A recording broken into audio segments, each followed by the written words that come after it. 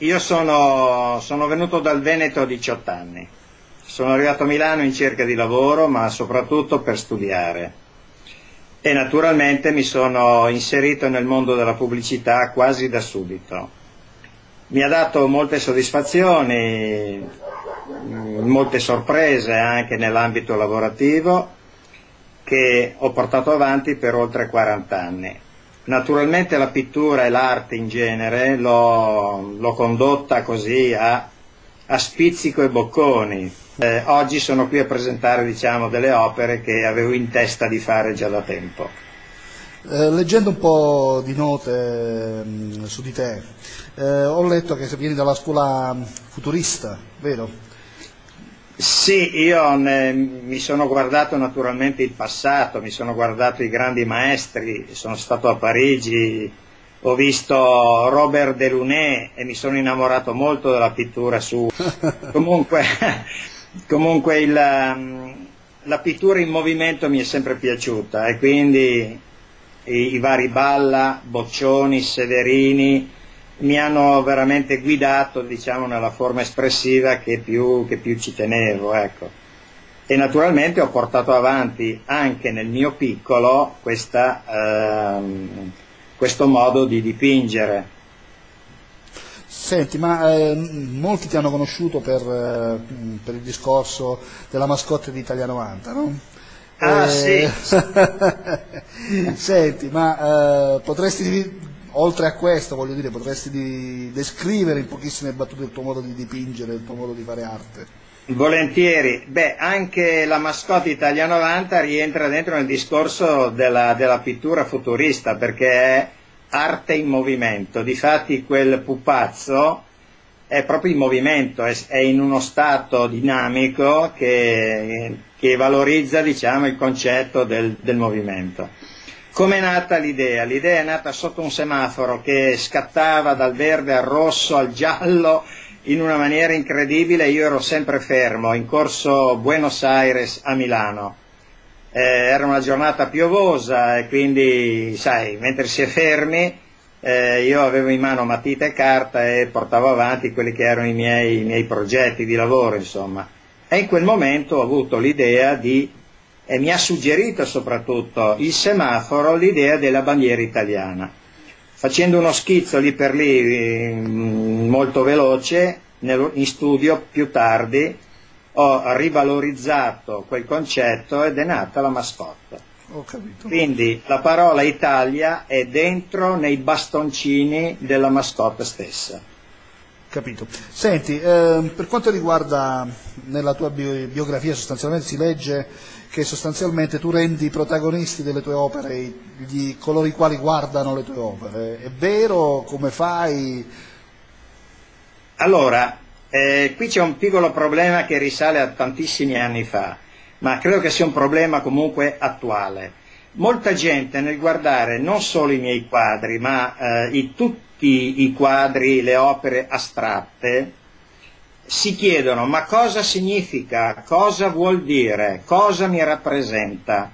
E naturalmente stanno lì qualche minuto e poi eh, sconsolati ne escono praticamente senza ottenere diciamo, quella, quel quid che serve a capire l'opera. Allora io mi sono posto un problema, ho detto io devo cercare di trovare un qualche cosa che permette al fruitore di capire l'opera un pochino meglio semmai non voglio certo eh, mettermi in condizione di spiegarla l'opera, però cercare di indurlo a interagire con l'opera, questo sì. E allora, eh, lavorandoci sopra naturalmente con, con, con, con Dovizia, ho, ho, trovato un sistema che l'interattività della persona gli permette di, di entrare meglio nell'opera stessa e se vuoi già ti faccio vedere come. Eh, cominciamo a vedere qualcosa perché mi pare che tu sì. hai delle novità in serbo, vedo? Certo. Ecco, questa è un'opera che si legge così. Però se uno non è, non gli è gradito, diciamo, il quadro che vede, è sufficiente che muove questa, questo supporto ed ecco che nasce un'altra opera.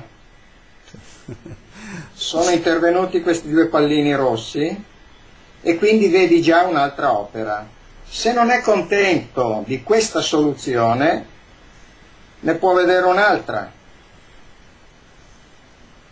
E quindi questa è come se fosse una casa, una chiesa, qui c'è l'introduzione dove si può entrare. Quindi c'è una visibilità completamente diversa. Quindi tante opere in una, sostanzialmente. Tante opere in una, esattamente. Quindi facendo così si copre il tutto e si mantiene queste queste longitudinali, diciamo, che ti permette di vedere un'altra opera.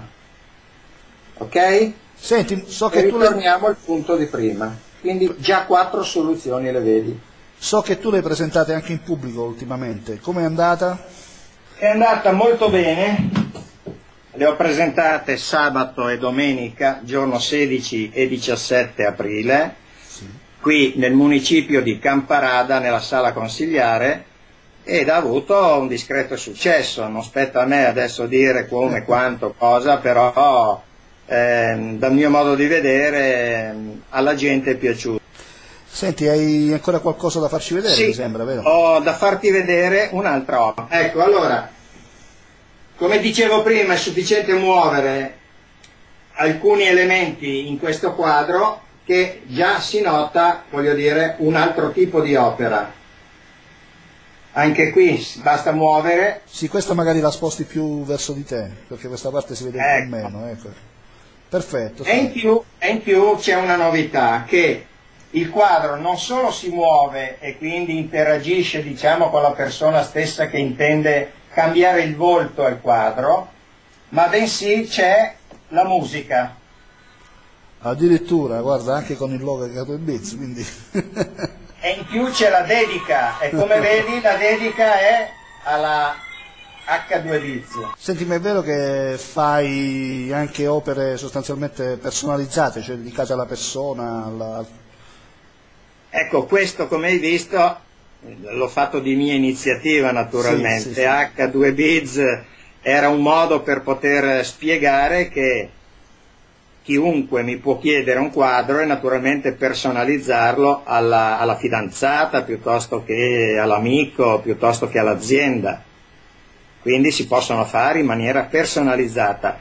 Però dirò di più, la musica che hai sentito è una musica naturalmente commerciale questa, recuperata sì, dai cartoncini sì. diciamo natalizi e, e, di, e di buon compleanno, eccetera ma qui intendo fare io la musica in modo tale che il, il prodotto, cioè il quadro, sarà originale in tutto e dappertutto.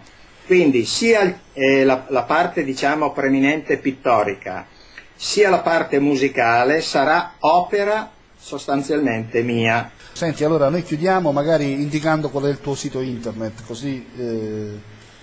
Volentieri, allora il mio sito è www lucioboscardin.it questo... La mia email è lucciobo-libero.it allora, con queste indicazioni noi ringraziamo Lucio Boscardin eh, per questo suo tempo che ci ha dedicato. Grazie. Grazie a te, grazie mille, grazie, grazie. a tutti. Grazie.